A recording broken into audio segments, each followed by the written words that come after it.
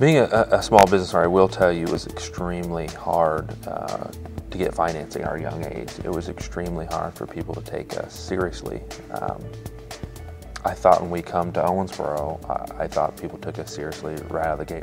So I had an opportunity to office from a remote location.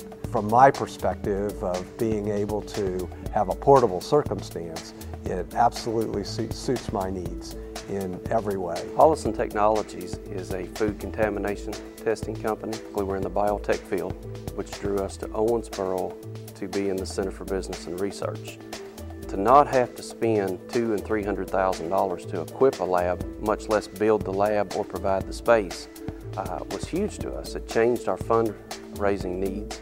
Uh, it changed the capital structure of the company because we're not spending money on those types of items. Uh, we pay a monthly rent. Uh, the city provides the building, and the lab space is certified, and it's it's just very helpful to a company like mine to get off the ground. To be able to effectively operate here as I would anywhere uh, in any of our locations all over the United States.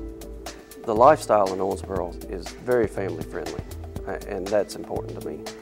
You have the Symphony, you have the River Park Center, you have uh, arts museums, parks, recreation, the Greenbelt. It's just it's a wonderful place to raise a family. You have so many amenities to use. Being a transplant to Owensboro, the first thing that we do when we have visitors to Owensboro is take them to the top of the parking garage downtown and we show them all the new dirt that's being put down there. And I point there's going to be a water park here, the, the convention center is going to be down there. The revitalization downtown is critical to our continued growth.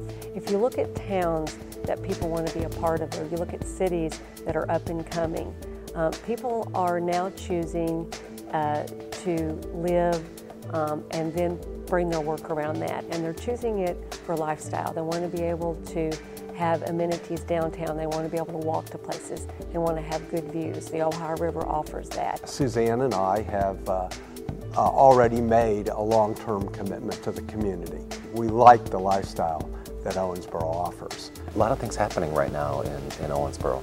And, and Owensboro is truly going to be a destination, so we don't have to go seek things out. It's going to be right here in our backyard, and I think that's significant for a town this size. It's been a very pleasant experience to work with, with the city and economic development.